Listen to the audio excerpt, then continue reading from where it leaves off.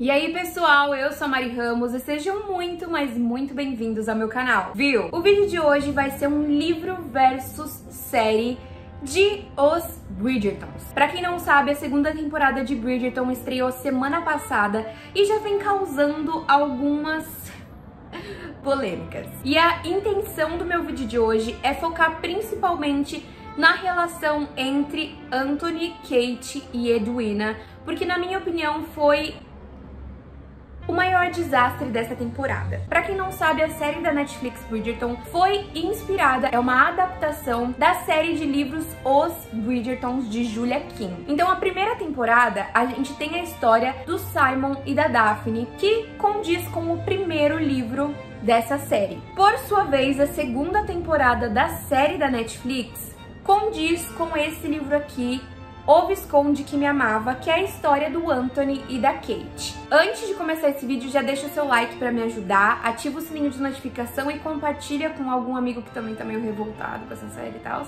Se você ainda não me segue nas redes sociais, elas estão aparecendo aqui embaixo para vocês. E se você ainda não leu os livros, eu vou deixar o link para você comprar todos eles aqui na descrição.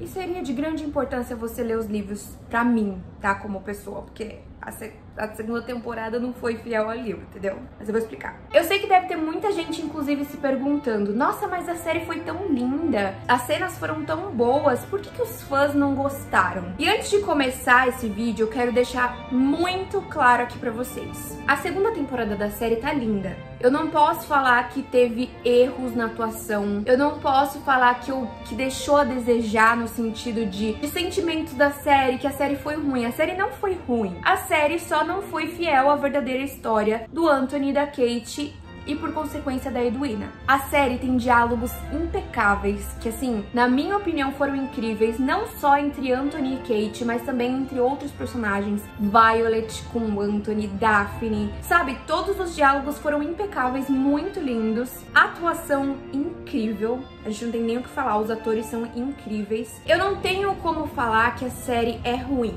Não acho que o roteiro foi mal escrito também, embora eles, tenham mudado tudo do livro, mas eu não acho que o roteiro foi mal escrito. O problema é, se você só assistiu a série, provavelmente você pode gostar, entendeu? Mas se você leu o livro esperando já uma coisa, a série não entregou isso. Eu sei que a série é uma adaptação dos livros. Ou seja, não é tudo que ia ser igual, eles não iam simplesmente copiar o livro e colar ali na série. Muitas coisas são diferentes, mas a diferença entre a primeira e a segunda temporada é que a primeira temporada eles mantiveram a essência da trama principal. Qual é a trama principal? Simon e Daphne. O amor de Simon e Daphne. Assim como nos outros livros, a trama principal sempre vai ser o casal principal. Todas aquelas coisas que aconteceram entre, entre Daphne e Simon realmente aconteceram no livro. Pode ser que tenha trocado alguma coisinha ou outra, mas nada que interferisse no sentido daquela trama. Espero que esteja dando para entender. Outras tramas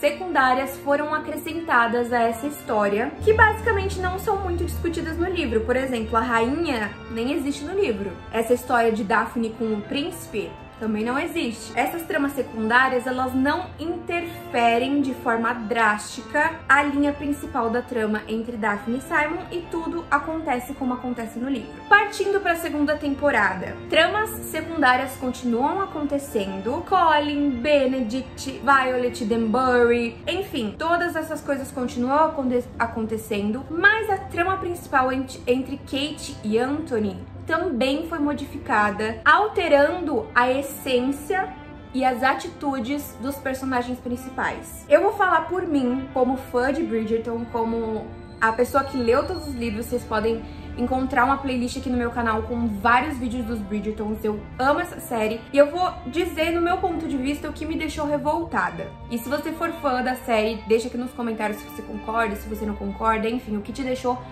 triste também com essa segunda temporada. O que mais me deixou revoltada foi um triângulo amoroso que não existe. Não existe Edwina apaixonada por Anthony. Começa por aí. No livro, a Kate realmente quer fazer um casamento para a irmã dela. A Kate quer que a irmã dela seja feliz. É, ela vê a Edwina como uma princesinha, assim, que ela vai conseguir entregar nas mãos de uma pessoa que vai cuidar dela, que vai dar o melhor para ela. Então ela quer fazer um bom casamento para Edwina. Já para ela, ela realmente não quer um casamento ela se contenta com pouco, porque ela também não se acha tão bonita, ela não acha que ela vai conseguir um marido nobre e também não acha que alguém vá se interessar por ela. Já começa aí um dos traumas de Kate que não apareceu na série. Mas até aí tudo bem. Desde a primeira página, a gente vê uma nota da Lady Whistledown falando sobre o Anthony, como ele é libertino, e a Kate conhece ele naquele momento. E ela já começa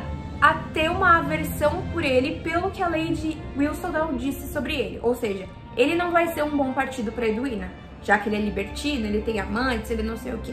A Edwina, por sua vez, ela é muito mais pacífica do que mostra na série. Ela tem as suas próprias opiniões, só que ela lida com os desejos da Kate de uma forma mais leve. Ela sabe que a Kate quer que, a, que ela se case, a Edwina quer se casar também, mas ela não vê necessidade de ter um casamento tão nobre assim, sabe? Ela conhece o Anthony Bridgerton, eles têm uma relação ali de conversas, mas ela em momento algum se apaixona por ele e em determinado momento da história ela percebe que essa aversão de Anthony Kate, essas bicadas, é na verdade uma tensão sexual ali, né? É na verdade que os dois se amam. Então a Edwina é uma das primeiras a entender que, aquela, que aquele ódio não é ódio, é amor. E ela é uma das primeiras pessoas a falar alguma coisa para Kate, para Kate entender que na verdade ela tá apaixonada pelo Anthony. A Edwina é uma das pessoas mais assim que apoiam esse relacionamento. E por isso que é tão revoltante a série. O Anthony realmente não quer casamento por amor. Ele tem toda uma relação ali com o pai dele. Em um momento da série a gente vê ele falando que ele não quer dar essa tristeza para as pessoas que ele ama. E o que que acontece? O pai dele morreu muito jovem por uma picada de abelha e morreu muito rápido. E ele acha que ele se, se ele se casar por amor, ele vai, quando ele morrer, ele vai deixar assim uma tristeza sem fim para as pessoas que ficaram, entendeu? Para a esposa, para os filhos. E por isso que ele não quer se casar por amor. Ele viu a mãe dele sofrendo quando o pai dele faleceu, todos os irmãos e ele também sofreram muito com a morte do pai e ele não quer dar essa mesma tristeza para a família dele. O Anthony tem uma noia na cabeça dele de que ele vai morrer cedo, que ele não vai passar da idade que o pai morreu. Então o pai morreu, sei lá, com 39 anos. Ele ele acredita que ele não vai passar de 39 anos. E por isso que ele quer uma esposa que não seja por amor, porque ele sabe que ele vai morrer cedo então ele não quer dar essa tristeza assim tão rapidamente para a esposa dele. É uma noia, mas que interfere querendo ou não no livro. E é nesse momento que ele começa a cortejar Edwina. Só que é aí que começa o problema. Na série, o Anthony nem a Kate basicamente tiveram responsabilidade afetiva pela Edwina em momento algum.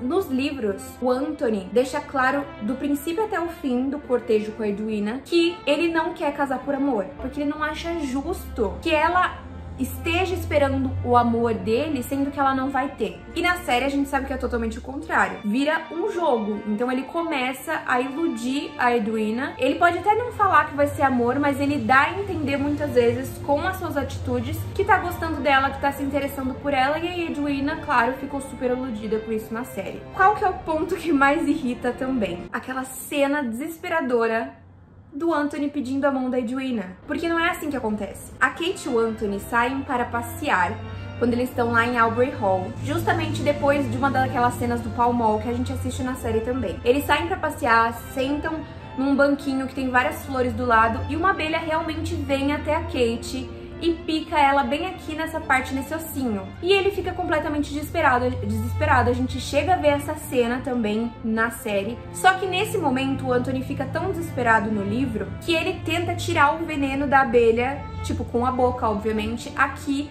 dessa parte da Kate. É nesse momento que a Lady Bridgerton, Lady Featherington, Lady Dunbar, todas elas chegam e flagram os dois ali naquela cena desconcertante. Então, eles vão ter que se casar. E não existe em qualquer momento a Edwina aí no meio, entendeu? Aliás, ela é a pessoa que fica feliz que eles vão se casar, que ela vai casar com o Visconde. Ela até diz, eu não tava apaixonada por ele, sabe? Vocês veem como as coisas se ramificaram e foi para um lado no livro e para outro na série? Na série a gente vê o Anthony pedindo Edwina em casamento.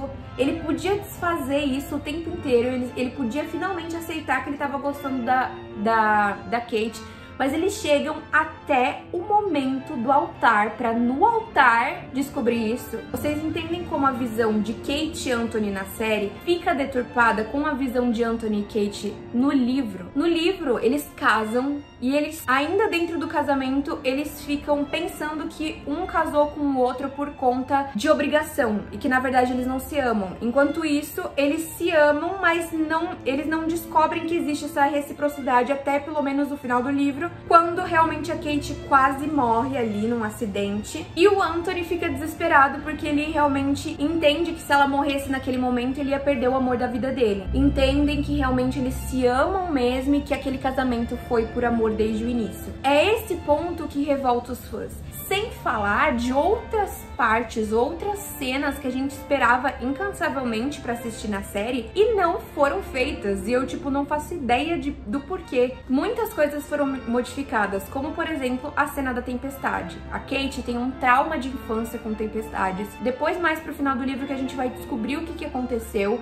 Ela compartilha isso com o Anthony, o Anthony super entende ela e fica com ela durante as tempestades. Aquela cena da tempestade na biblioteca era para ser totalmente diferente. Era para Kate ter se assustado com os trovões e ficado embaixo da mesa. O Anthony encontraria ela lá e sentaria com ela para conversar, para entender por que, que ela tava daquele jeito, é, para ficar com ela nesse momento de terror em relação à tempestade. É uma cena linda, uma cena delicada, em que eles trocam várias é, informações e segredos pessoais do que eles estão sentindo, que simplesmente não aconteceu. E poderia ter acontecido, não sei por que não, entendeu? Como outras milhões de coisas. A Heloise e a Penélope elas nunca tiveram essa conversa. A gente só soube como a Heloise descobriu que a Penélope era a Lady Wilson no último livro. O Colin, a personalidade dele mudou completamente. A personalidade do Colin foi pro Benedict, porque agora o Benedict que é o engraçado espirituoso. Mas o ponto principal é, essas tramas secundárias, ela não me afeta muito, porque eu sei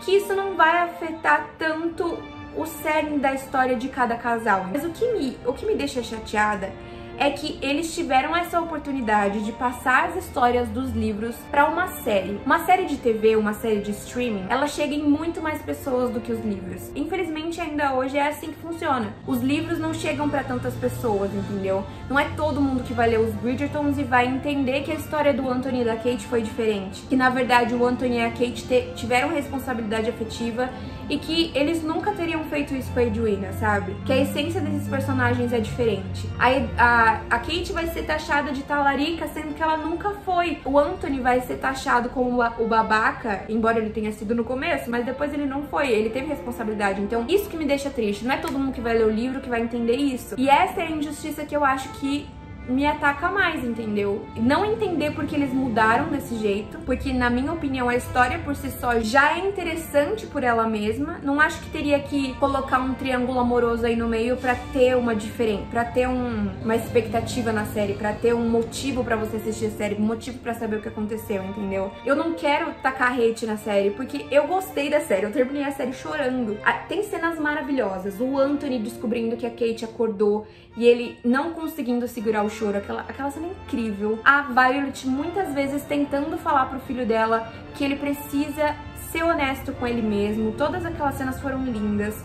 A cena em que todos os Bridgertons lá com os convidados, eles dançam na casa deles porque nenhum convidado chegou pro baile. Mas eles pecaram. Até porque deixou a série muito mais molenga no sentido de, gente, Passou sete episódios e meio até o Anthony decidir ouvir a mãe, a Daphne e todo mundo entender que ele tava apaixonado pela Kate. Sendo que isso é um processo. Ninguém mais aguentava o Anthony falando, não, eu vou casar porque sem amor, eu sei o que eu tô fazendo, vai lá, pede. Ninguém aguentava mais aquilo, gente. Tem muitas diferenças dentro do livro, como por exemplo, as meninas, as meninas Sheffield, né, elas não estão hospedadas na casa da Lady Como no começo, como nessa série, né, mas eu acho que esses pontos até então não são tão importantes para a série. São adaptações que só melhoraram a esquematização da série, entendeu? Então não acho que isso nós teremos que citar. O problema mesmo é mudar as tramas principais e a história, né, galera? Tem muitas diferenças realmente entre o livro e a série, mas na primeira temporada também teve, eu acho que se fosse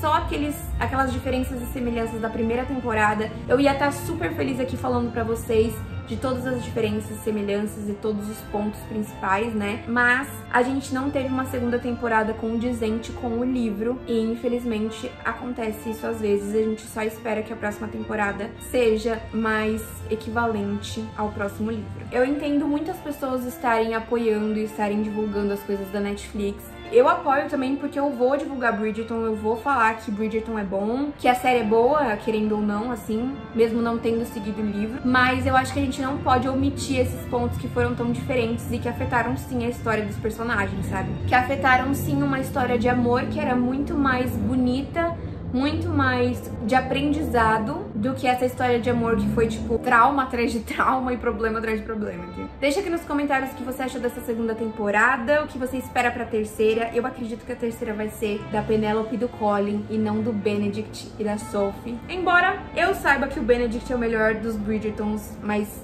muita gente ainda não tá preparada pra essa conversa. E é isso, espero que vocês tenham gostado desse vídeo. Não esquece de se inscrever no canal e deixar seu like. Um beijo e até a próxima.